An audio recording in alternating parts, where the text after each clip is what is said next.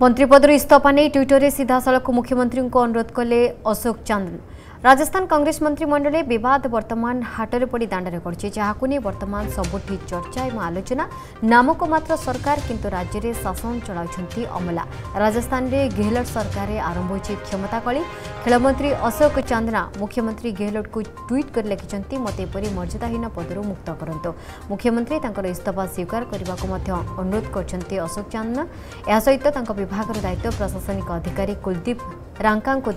ଦିଆଯାଉ ବୋଲି ସେ ମଧ୍ୟ ସିଧାସଳଖ ଲେଖିଛନ୍ତି ତାଙ୍କର ଏହି ଟ୍ୱିଟ୍ ପରେ ପୁଣି ଥରେ ରାଜସ୍ଥାନ କଂଗ୍ରେସର ଭିତିରି କନ୍ଦଳ ସାମ୍ନାକୁ ଆସିଛି